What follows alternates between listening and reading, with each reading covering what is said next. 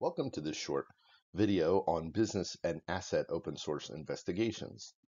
So in this module, we'll be talking about the importance of having a methodology and applying the framework to entities, businesses.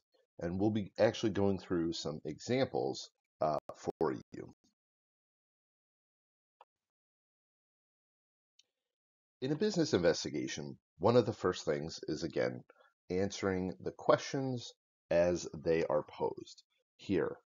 So, for example, what is the purpose of the investigation? One of the questions is really important to identify who may be behind the business. What assets do they own or control? Are they legitimate? Sometimes looking at their supply chain or relationships is important. And what risk does this business relationship possibly present? The first thing to do when getting an assignment like this is to conduct an entity analysis. This has four different unique aspects of understanding the actual business. However, there are two other really important pieces. First, it's important to understand the industry and the overarching context in which the business operates.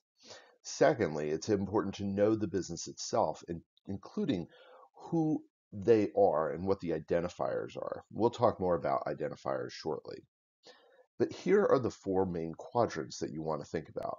First are the people, second, the financials, third, the operations, and fourth, the supply chain. In some assignments, one or more of these may not actually apply. For example, if you're only trying to understand who is behind a business, then maybe everything else is not as important. Um, certainly, it could be. There could be some some indications that could lead you to additional information in some of these other contexts. But it's important to structure your investigation in a manner that kind of aligns with the general entity analysis. Next, you need to apply the framework. So this is the framework that I've put together it's important to understand that you have to gather all case data that's currently known, right? Understanding what it is that you know, understanding then what you need to look for, where to look, what's missing, and then the results. Repeating and refining this framework is important. And it's really important because on the stand or in your final report, you need to really be certain and show that the methodology that you used is sustainable. Today, there's so many tools now available to talk about understanding the open source landscape. Here are a couple of the things that you may want to consider. Obviously, search engines and online directories, as well as the deep web and archived or cached pages. But there are so many more right? And they're changing every single day. So it's hard to say specifically what you could use. Be creative. This is where it's important to really think through the methodology and be work through exactly what you are uh, trying to do and accomplish in your assignment. At a minimum, as we said in the first step of the framework, you need to have identifiers. You need to have very basic information to be able to start. A name, a business name, a person's name, the address or location, if they have a business entity or license number, who are the owners, if they have a website or email, phones, even fax numbers, anything to be able to start the process, right? And again, we go through the framework, we start working through what we have we pick up more, we refine, go back and forth. It's an iterative process. One of the most important things to consider is whether they are an actual entity or not. This could be really important. So it's important to think through what are the types of businesses that are available and whether or not this entity qualifies. You have sole proprietors, you have limited liability companies, partnerships, professional corporations, nonprofits, the different types of corporations like S corps, C corps, uh, B corps, and there's so many more. But it's really important to understand whether or not this entity is actually an entity legally. Now, that may be beyond the scope of your assignment, but it is important to think through and understand what evidence you can gather to show whether or not they are an actual operating entity. It's important to remember, as in the first quadrant of our entity analysis, the people and understanding who is associated with the business, who are the owners, the managers, employees, or contractors. Um, running a persona framework, right, that we talked about in Module 3 is also really important. Job search sites, such as LinkedIn or others, can be really helpful. You also may want to think about whether somebody's posted their curriculum vitae or resume. Um, job search sites could also include things like Indeed or you know hire me now or something like that where the the entity is actually advertising for open positions in the event that the business you're looking at actually does have a website the full site exploitation is invaluable it's really important. And, and we do this in class uh, in several different instances because it's really important, right? So the information that is on a website can be absolutely critical. So conducting a full site exploitation, looking at the domain, looking at links, whether they're incoming or outgoing, the ownership information, including the historical ownership information or contacts, persons associated with it, and all the other attributes that we talk about in this course are so important. We'll talk more in depth about Whois and some of the other technical tools, but this is a good outline to start with, and this is what we want to do. So this is the NFL, National Football League, Whois. So this is important because I think it, it just sets the stage. So we look at the Whois to, in order to determine who actually owns and controls this website. Now, in this case, one of the neat things that we see is that there is a registration entity called NFL Enterprises LLC. Now, there's no other contact information, but again, we can use the framework to then start looking at, say, state registration corporation uh, records to find NFL Enterprises LLC. Now, what's important is to understand who MarkMonitor is. MarkMonitor is one of the leading companies that really does a lot of these uh, different things, as you see on the screen there domain management, brand protection, anti counterfeiting, anti piracy, uh, etc. So they really are the ones that are kind of doing the day to day things uh, in order to make sure that this is all working correctly. And they're really trying to protect the brand from issues and takeovers and, and, and all the bad things that can happen with these.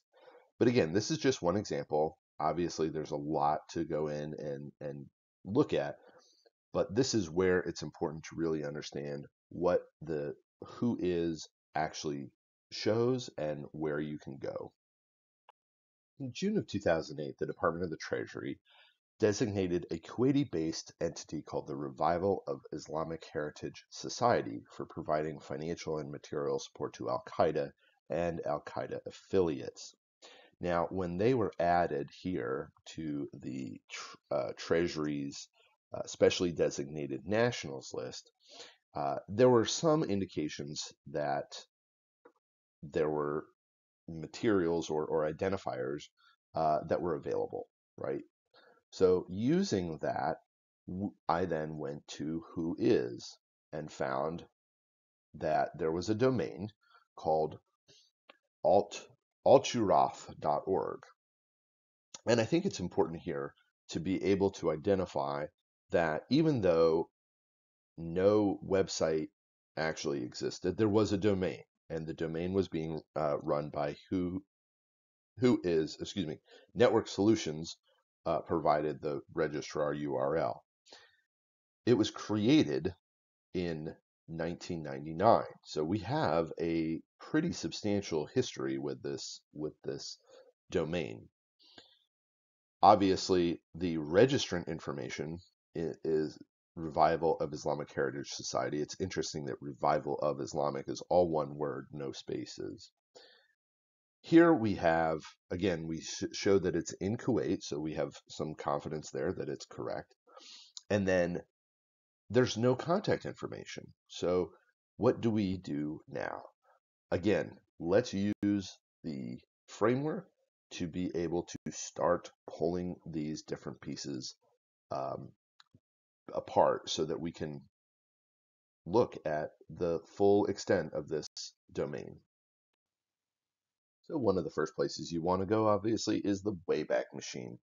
InternetArchive.org has a excellent history of many of these sites. It does, it has changed. Sometimes it works, sometimes it doesn't. But again, it gives you a good sense of, of generally where things are.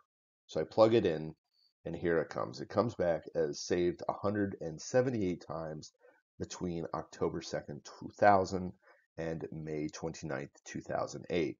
If you remember, they were designated in June of 2008, so that's pretty impressive. Here we have, again, going back to that, we saw that 1999 date and uh, 2000 uh, being the first capture. So we have, again, more confidence uh, that we are on the right path. So let's keep going and, and see what else we can find from the Wayback Machine. In archive.org, we see the Wayback Machine's capture of this website. This is the May 11, 2008 capture, which was the date right before the designation. Now, when it comes up, it's really hard to identify exactly what it is. All of the images are gone. I don't read Arabic, so I can't really see what those links go to. There are two things that you could potentially use. One is a Google Translate to help. The other is interesting. So when you start hovering over each of these images, it actually brings up the URL. And if you understand the fact that most of these web architects are using English as the URL, you can understand.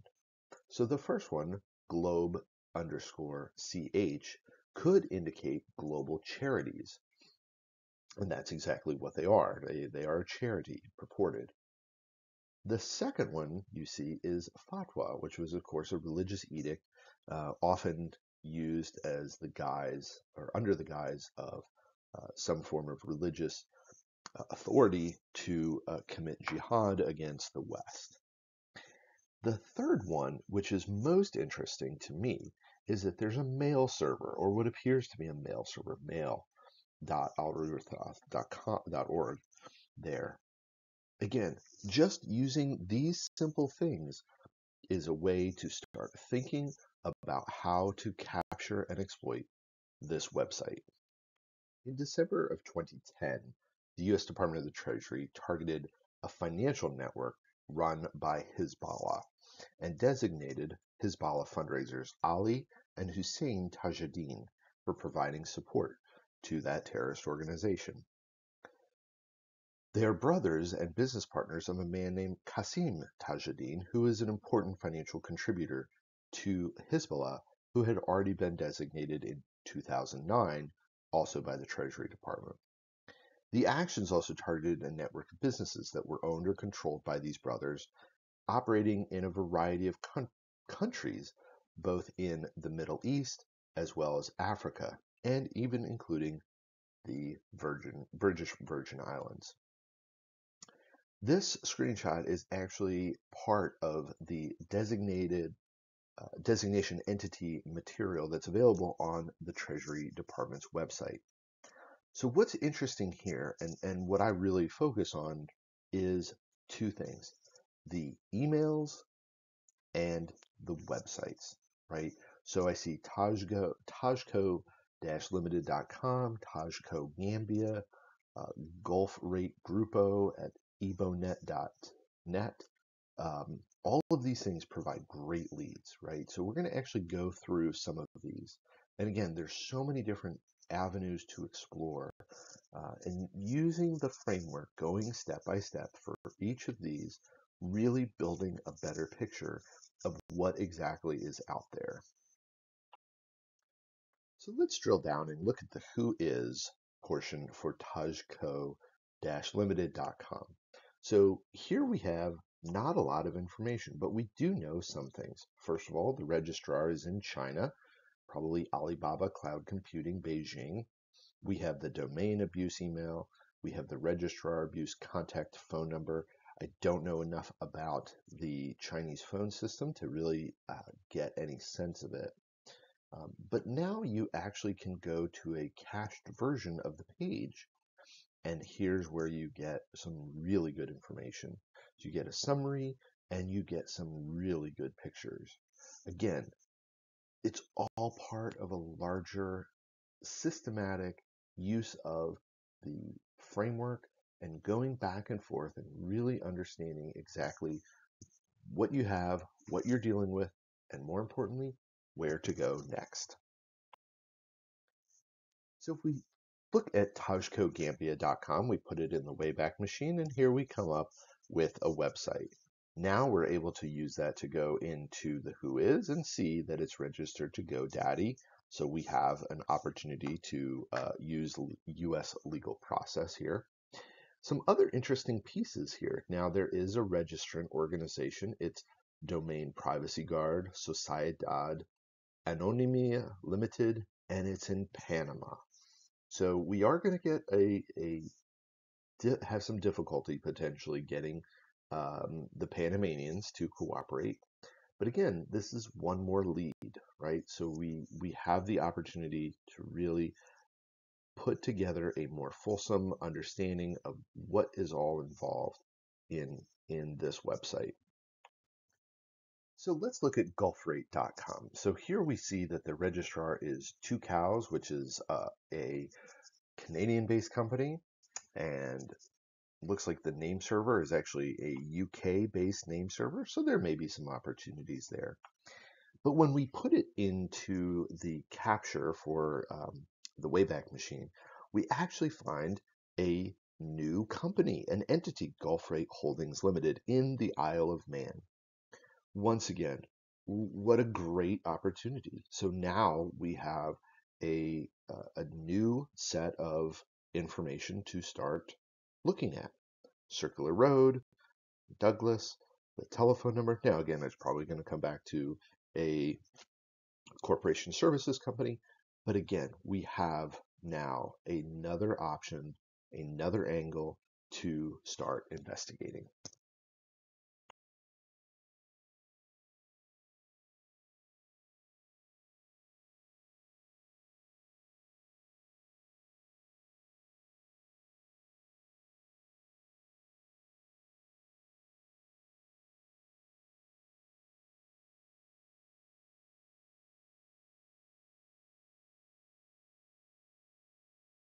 So over the course of this video, we've really talked about and shown examples of the importance of using the framework and the methodology and talking through the four different quadrants of the entity analysis to really identify those key elements of a business investigation.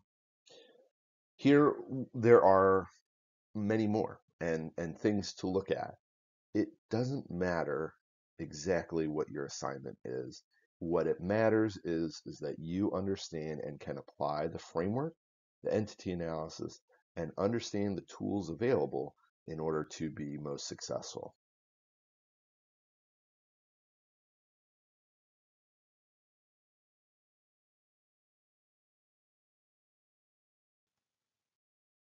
Asset investigations are just as complicated as business investigations.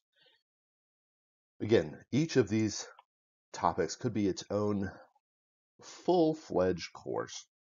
But I think it's important to understand that assets are often connected to businesses and certainly are connected to people.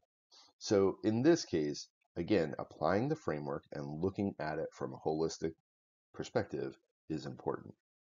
So whether it's real estate, boats or vessels, unclaimed funds, company information, copyrights, cryptocurrency, online markets, aircraft, anything like that. These are all assets that people find valuable. And so, again, applying the framework, going through the process, and really understanding what you are looking for is, is critical. So I hope this video has been helpful and interesting, and I look forward to any comments on the discussion board. Thanks.